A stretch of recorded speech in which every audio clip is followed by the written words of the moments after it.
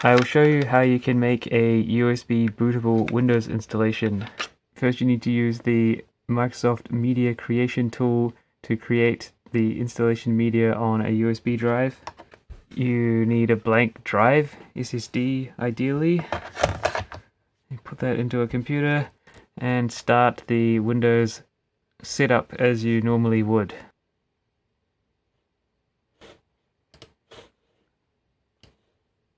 Yeah, the setup is loading.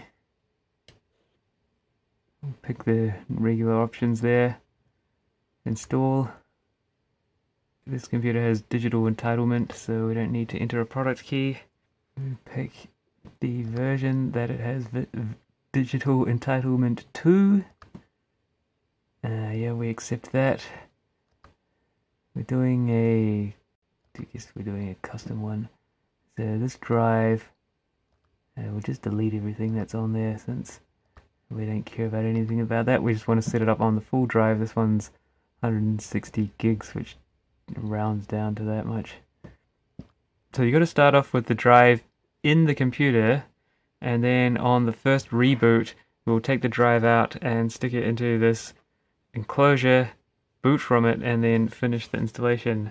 That's the key thing to get Windows set up in a way that it will be happy to boot and run from the USB drive. If you just start the installation with your drive in the USB enclosure, it will give an error saying you can't install Windows to a USB drive. So we'll just wait for this part to complete.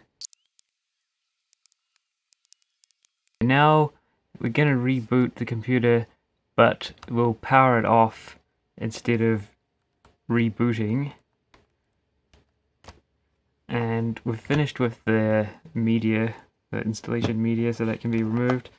Now, remove the drive, we'll add it to our external drive enclosure.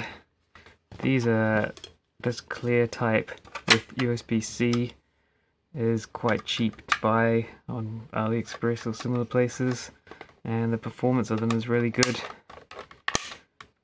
and that's USB 3 so connect that up. Also connect up a network so that Windows can do some things it starts up. And let's continue. So the light's flashing on the enclosure now.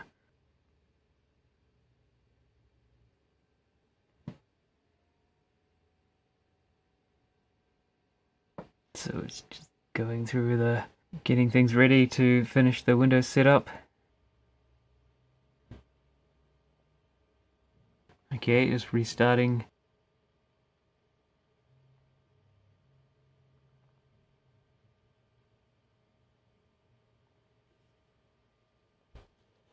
There's probably music for this. Who knows? Okay, let's do the Windows setup. Doing it, yep. Keyboard, yep, we'll take that one.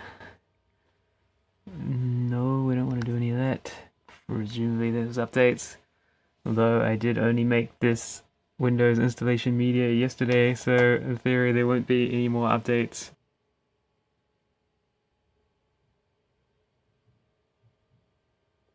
So we're going to call this USB boot, since that's what this thing is.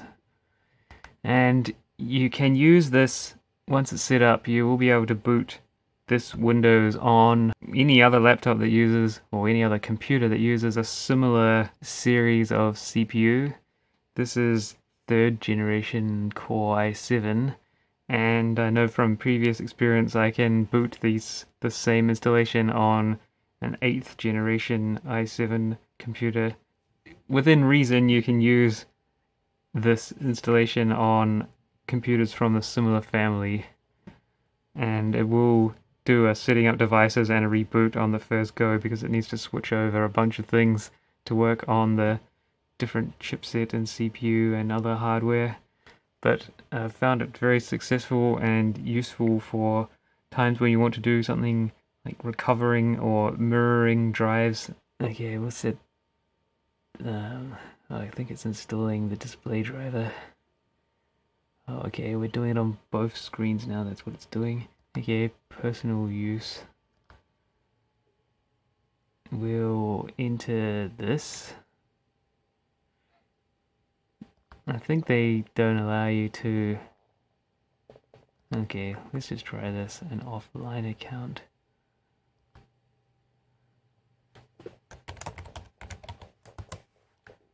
Enter a password. That'll do.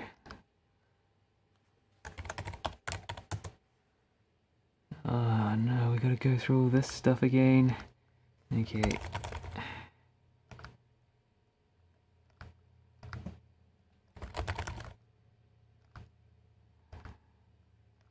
The first school I attended, yeah, that was a good school. Okay. Yeah, and as usual, easiest way to deal with this is with the spacebar and tab. I don't want any of that stuff. Good. Getting things ready for me. That's exciting. Oh, we're almost there. There you go. Windows 11, which is quite disgusting and annoying, but yeah, it proves that we can. Yeah, there's a few things you got to do with Windows 11 before you can use it like change the taskbar back to the normal position. And install things like Explorer Patcher to put back a normal taskbar that you can use. And make it small, ungroup the buttons, turn on the text and make the scroll bars always display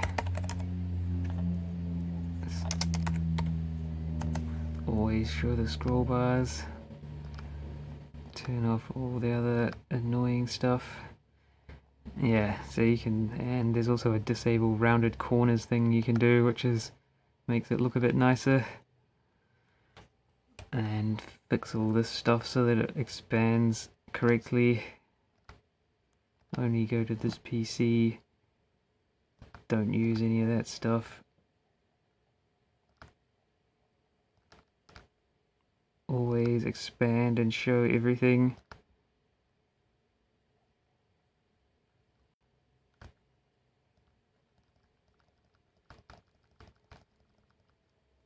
Show everything. Don't hide extensions.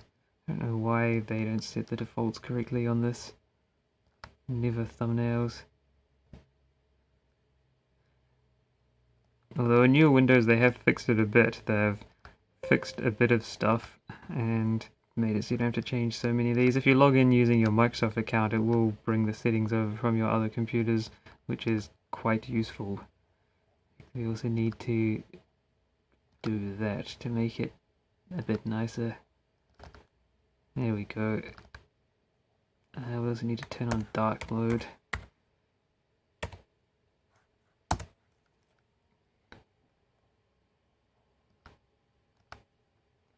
That's better. So we can actually see it without burning our eyes out. Set up the color nicely. Getting there. Anyway, uh, we've got a USB bootable Windows now. Let's prove that by turning it off and on again just for fun. Okay, so if we turn on the computer without the drive attached, we'll end up with nothing because there's nothing there. Uh, once upon a time Ubuntu was there. Let's plug in the drive. I don't think you can do this. You have to turn it on with the drive plugged in normally. Oh no, look, it got it. There you go. So we're booting off the USB drive. A while back in earlier versions of Windows 10, it was not possible to do major upgrades uh, through Windows Update on your USB drive because it would just come up with a thing saying you can't install Windows on a USB drive. But lately I've found in the Windows 10 and presumably in the Windows 11 ones, they do let you do full updates on the USB drive and it stays working. So in theory this could be your primary operating system drive, just always a, you an external drive that you can take with you whether wherever you go. Let's just see if there are more updates being installed. That's quite good now that Windows can just install everything for you. You don't need to fossilic around for drivers for all the various hardware. Uh, yeah, it's got a bit of stuff to put on. Suppose we'll do that.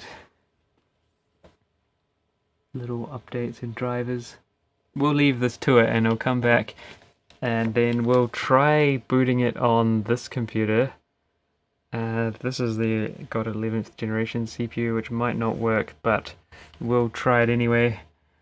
The other thing that's interesting to notice is this Lenovo X230 computer does not comply with the minimum requirements for Windows 11 yet here we are. Here's a Windows 11 tip.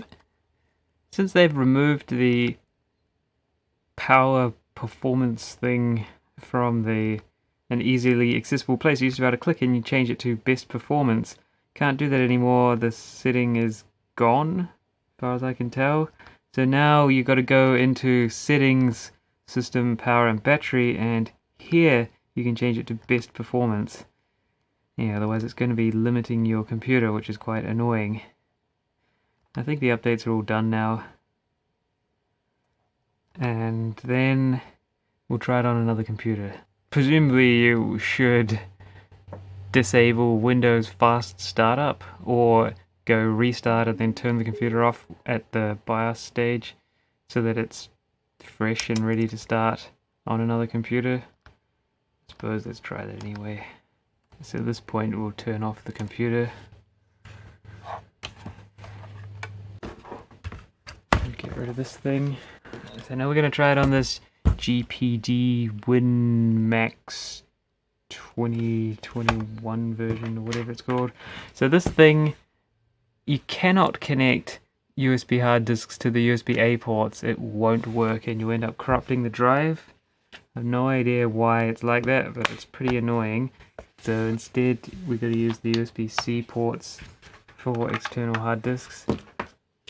I don't know what led to that being a thing. It's a bit annoying because I ended up corrupting a hard disk. Well, it either corrupts it or it ends up with a lot of read errors. I can't exactly remember what. So we're going to have to go into the BIOS and make sure that USB boot is enabled. Okay, so it looks like it doesn't display on the HDMI output. Okay, so USB hard disk and that are before the internal drive. Now save changes and reset. So let's see if it will boot off this drive. Might be having a go. Oh yes, it's definitely having a go because yeah, it changes for some stupid reason they make the default orientation of the screen portrait. It's so annoying. Why can't they set it to be normal by default? It makes setting up Windows very frustrating. Uh, also I don't think there's any shortcut to switch it to external graphics by default. It looks like it's going to boot though. Well, it so far it looks like it is. It defaults to that orientation for the BIOS stuff, so why not default to that for the Windows stuff? Some people have got no idea. Getting a mouse because it's really, really hard to use that stupid pad thing doesn't have a proper track point like the Lenovo computer. Okay, let's see if we can log into this. And we'll have to go to display properties, display settings, and change it to normal mode, not stupid mode. Also wonder why can't we join, like where, why is the output not going onto the other display? Yeah, I guess it won't work until the other display drivers are installed, the actual display drivers. But we have shown here that, yes, you can boot your newly created USB bootable Windows installation on, we started on a third generation i7, we're now on 11th generation i7 and it worked without problems. So there are some Intel things that it's going to get. Presumably it's set up the network, it looks like it has. Hasn't installed sound or anything.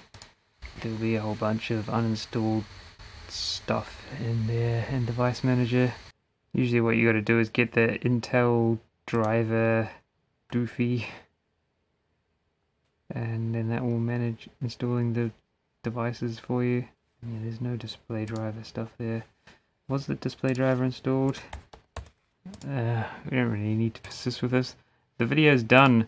We've got I've shown you how you can set up Windows 10 or 11 on an external hard disk and then you can share it amongst computers and use it for debugging and fixing maintaining adjusting things where you don't want to boot from the internal drive or when you don't have an internal drive and you just want to test out a computer perhaps we'll finish off by going back to the original computer and proving that that still works.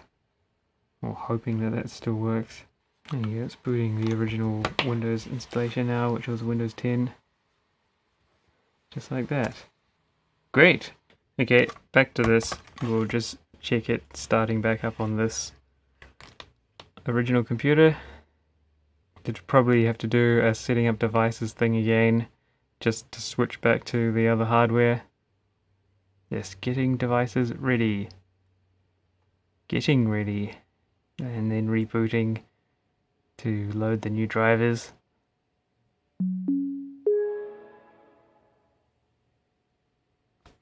Okay.